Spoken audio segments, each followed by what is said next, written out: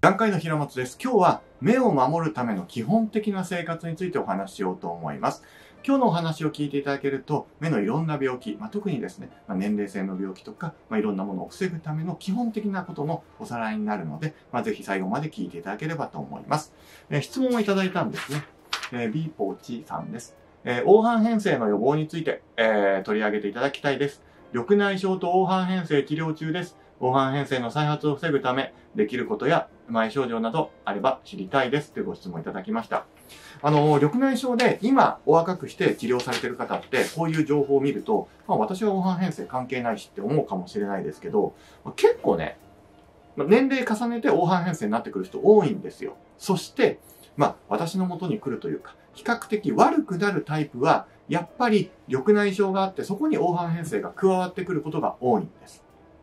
で、この黄斑変性症は、ある程度生活で防ぐことができる。目の生活習慣病の一つとも言われている病気です。なので、今日のお話を実践していただければ、まあ、あなたが緑内障だとして黄斑変性にならないで済むし、まあ、緑内、黄斑変性があったとして毛変がんを防ぐとか、まあ、その役に立つかと思います。えー、まとめて言うと、いくつか。まあ、一つ栄養、二つ生活っていうことになります。で、これを分解していきます。栄養で言うと、一番有名なのがルテインという栄養素になりますね。これは何度も動画で紹介していますけれども、ほうれん草とか、まあ、そういうものに含まれていますが、特に黄斑変性がある人、毛変がんを予防したい人は、ルテイン単体ではちょっと心もとないです。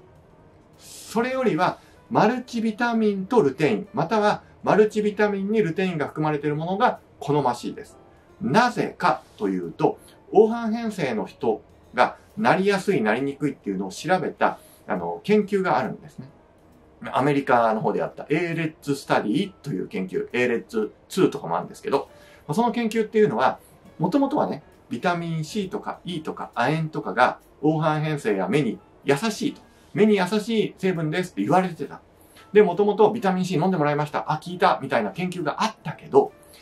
大人数の患者さんやってみると、ビタミン C も大して効かない。ビタミン E も大して効かない。亜鉛も大して効かない。これどうすりゃいいのって話になって、じゃあ、これ全部飲んでもらったらどうなのって話になったんですよ。で、全部飲んでもらって、でそれは、A 列2になってくると、それにルテインをぶち込んで、もう全部まとめて栄養を取ったら、これで目が悪くなる。黄斑変性を防げたっていうことがありました。これ、なんでなのっていうと、単体でやってビタミン C とか E とか亜鉛とかも確かに効果があったんだけど、おそらくそれは、もともとビタミン C が足りてない人が、ま、例えば100人の中20人いたとして、この人が良かった。亜鉛が足りてない人が100人の中20人いたとして、この人が良かった。これなんですよ。つまり、あなたが、あなたの取っている栄養バランスを全部管理できていて、いや、私はいい足りないからって言って摂取できるんだったら、もうピンポイントで言った方がいいです。でも、それ難しいですよね。毎食チェックしたり、厳しい。ってなると、こういうマルチビタミンっていうので、もう一括パッケージでいって、どっか足りなかったらそれをね、直しましょうという、こういう発想になったわけです。え、でもさ、ビタミン C 足りてんのにさらに取っちゃって大丈夫なの ?E 足りてるのにさらに取っちゃって大丈夫なの？この疑問もあると思います。結論から言うと、それで問題にならない程度含まれているのが一般的なマルチビタミンなので、十分足りてる亜鉛があって、そこにマルチビタミンに含まれてる亜鉛があったとして、それはあんま問題ないです。っていうふうに考えてください。もちろんね、元がめちゃくちゃ亜鉛取ってるとか特殊な人は別ですけど、まあ一般的には普通に摂取していただいて問題ない。これが栄養の1個目ですね。ただ、マルチビタミンっていうのも必要ですけど、できればそれでね、あのー、サプリとかにお世話にならない一つの方法は、やっぱりバランスの取れた栄養。つまらない結論かもしれない。でも、これ重要。で、かつ、緑黄色野菜、緑の濃い野菜が重要です。なんで緑黄色野菜が重要なのっていうと、まあ、体のね、他の血圧とかとはわかんないですよ。目に関して言うと、緑黄色野菜というのは、緑の濃い野菜ですね、メインで言うと。この緑っていうのは、光が当たって光合成、光が当たってその二酸化炭素を酸素にして、それからエネルギーを作るという作業をしてます。なので、光がちゃんと当たるような設計なんですよ。黒かったり、緑が強いと、光たくさん当たって暖かくなるじゃないですか。そのダメージを消去する能力を持っているので、だから緑黄色野菜はより良いよっていうことになります。そして、タバコを吸わない。まあ、これね、と深いあの説明もいらないと思いますけど、やっぱタバコを吸ってる男性が、あの、目が悪く、黄斑変性になりやすいと言われているので、まあ、ちょっとね、ダメですねってことですね。あと、ストレスが良くない。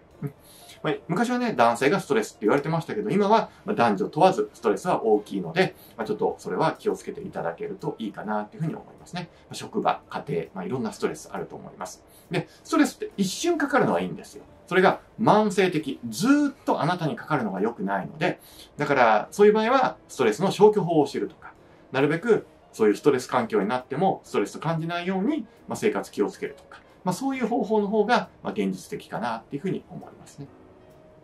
で、栄養で言うと、あとはタンパク質とか、まあ、の栄養。あの炭水化物はね、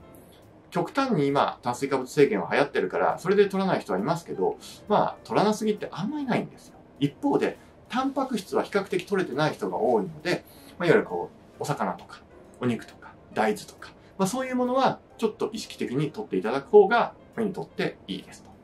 次に生活環境。これが、まあ、いわゆるこう、光を浴びすぎない。目というのは特殊な臓器で、光を預け、あ、集めて、周光、光を、本当にこう、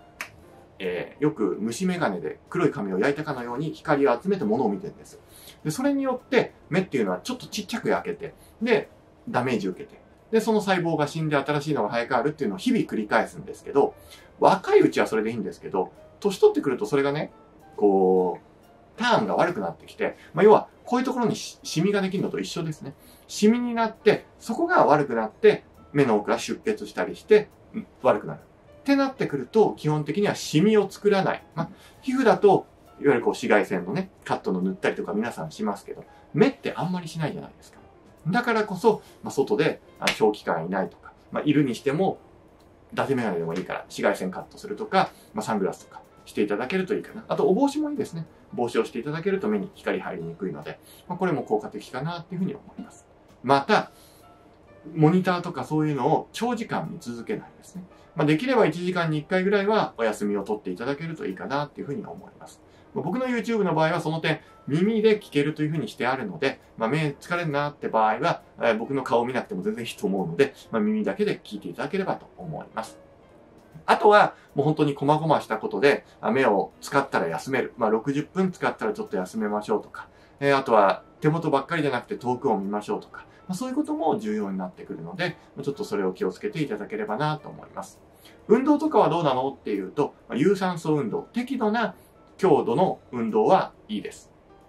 逆に、すごく弱すぎて運動はあんまりしないとか、はたまた強度すぎる運動もあまり目には良くないと言われているので、まあ、ほどほどにしていただければと思います。え、今までこの話聞いたよって思う方もいると思うんですけども、禁止や緑内障、そして黄斑変性に関する切り口として、あの、お話しさせていただいたので、まあ、一つの参考になればなっていうふうに思います。まあ、こんな感じで、この病気の予防や、なんかいろんなのはどうでしょうかっていうのもありましたら、まあ、そこら辺も、あの、お話していこうと思います。で、初期症状、黄斑変性の初期症状は、ちょっとした歪みですね。なので、それを感じにくいように、毎日、右目、左目を、こう、隠して比べっこした方がいいです。まあ、カレンダーを見るでもいいですし、アムスラーチャートっていうね、あの、格子状のものね、ありますんで、まあ、それをチェックしていただけると、より早期に発見できて、早く発見できると、黄斑変性という病気は、もういくらでも止めようあります。悪くなってからだとちょっと戻すの難しい病気というか、あんま戻んない病気ですので、まあ、ぜひぜひ知っておいていただければな、というふうに思います。緑内障の人もぜひ知っておいてもらいたい、目を悪くしない、黄斑変性を出さない、ための習慣について今日はお話しさせていただきました。まとめますと、まあ、食事が重要であるとね。えっ、ー、と、サプリメントも一つです。マルチビタミンも必要ですし、ルテインという栄養素もいいですと。まあ、ほうれん草とかに含まれています。で、緑黄色野菜もいいですと。で、タンパク質も比較的取りましょうという感じですね。で、はたまた、えっ、ー、と、他の、えー、生活で言うと光を見すぎないであるとか、ちょっとそういうのを気をつけていただいて、えー、あとは目を休めたりとか、遠くや近くを見る。まあ、これも注意していただけるといいと思います。え今日の話が参考になったって場合は、高評価ボタンとかを押してください。あと、チャンネル登録まだの方はぜひ、チャンネル登録もしといていただけると、新しい情報、まあ、関係ないやと思う情報もあると思いますけど、意外とこうやって、緑内障と黄斑変性とか、まあ、関係してきますんで、まあ、ぜひ見ていただければと思います。よろしくお願いします。